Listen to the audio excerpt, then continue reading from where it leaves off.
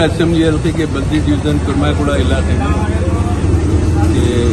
वायद colony में हजारी मस्जिद के पास उसके गली में दौरा किया गया और मादाना पेट मस्जिद नूर के पास।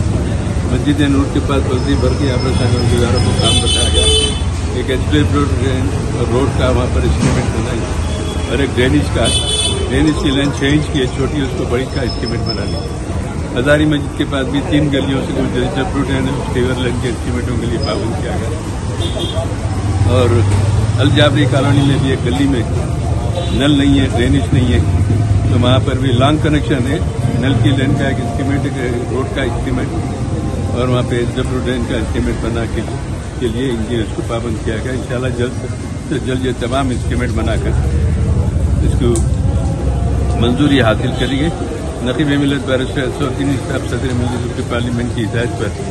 जहाँ जहाँ से जो शिकायतें वसूल होती है फौरी जाके वहाँ दौरा करके उनके कामों की एकसुई के लिए कोशिशों का आगाज़ करने के लिए पाबंद किया गया इनशाला यहाँ पे आगाज़ किया गया है इनशाला जल्द से जल्द ये काम मुकम्मल करा के यहाँ के लोगों की शिकायत को दूर करेंगे।